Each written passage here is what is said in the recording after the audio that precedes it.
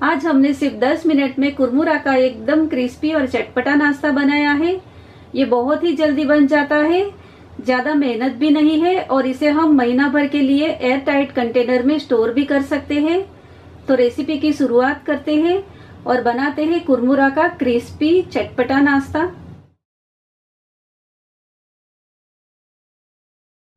पहले हम कुरमुरा को भून लेते हैं।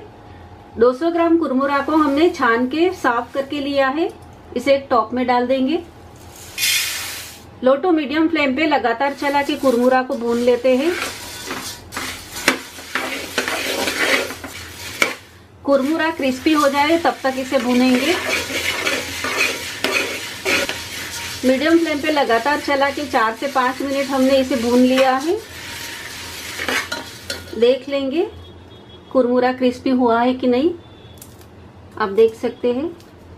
कुरमुरा का एकदम इस तरह से चूरा हो रहा है तो ये भून गया है। गैस बंद कर देंगे।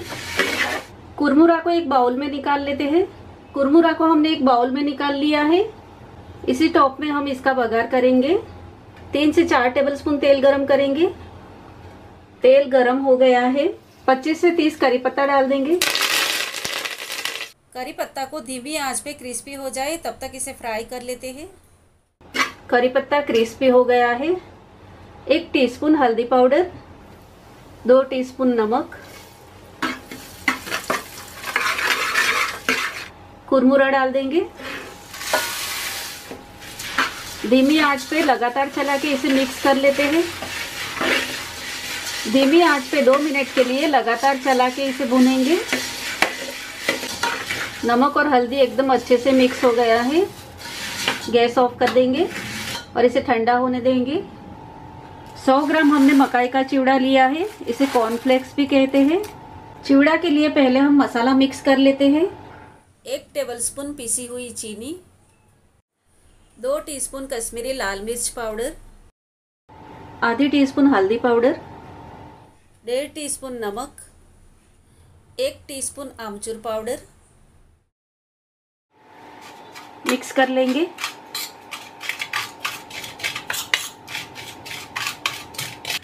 मसाला मिक्स हो गया है।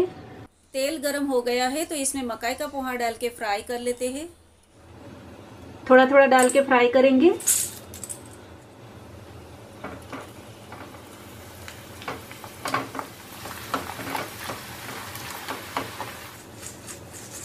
इस तरह से सारा तेल निकाल लेना है। हमने जो मसाला मिक्स किया है बाउल में, इसी के अंदर हम डाल देंगे। इसी तरह से चिवड़ा को फ्राई कर लेते हैं।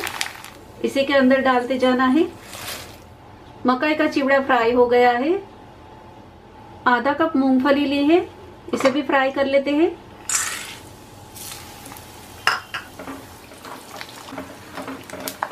तेज आँच पे फ्राई कर लेंगे तो ऊपर से लाल हो जाएगी और अंदर से कच्ची रह जाएगी। मूंगफली को लाइट ब्राउन फ्राई करेंगे। हो गई है ये। मकाई का चिवड़ा के ऊपर डाल देंगे। 25 से 30 बादाम का एक का दो पीस किया है। एक बादाम की हमने दो स्लाइस कर ली है। ये अंदर डाल के फ्राई कर लेते हैं।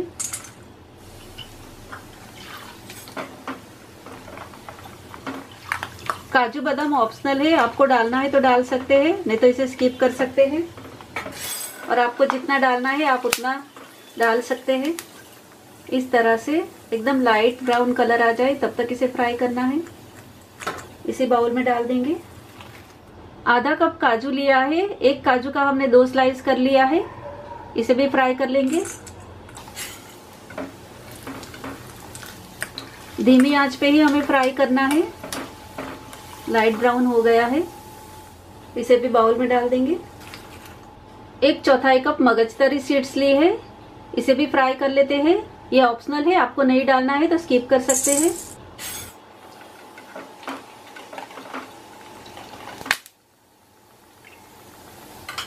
मगजतरी सीड्स को ज़्यादा फ्राई नहीं करना है।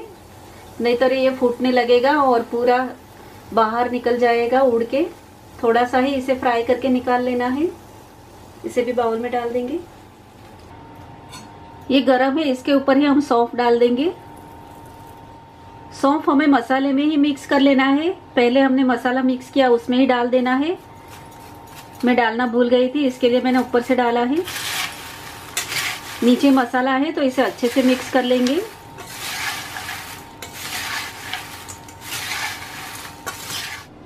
इसे इस तरह से उछाड़ के भी हम मिक्स कर सकते हैं।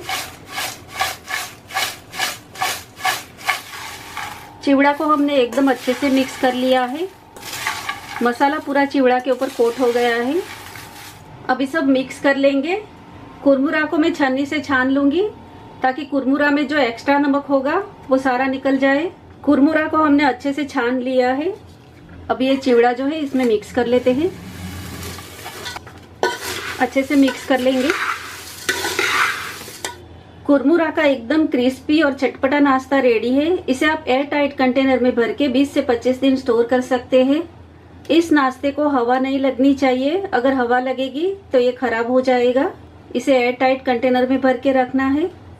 रेसिपी आपको पसंद आए तो इसे लाइक करें, शेयर करें और मेरी चैनल को सब्सक्राइब करें। कमेंट बॉक्स में लिख के मुझे ज़रूर बताइए कि आपको ये रेसिपी कैसी लगी। तो मिलते हैं अगले और एक नए वीडियो के साथ में।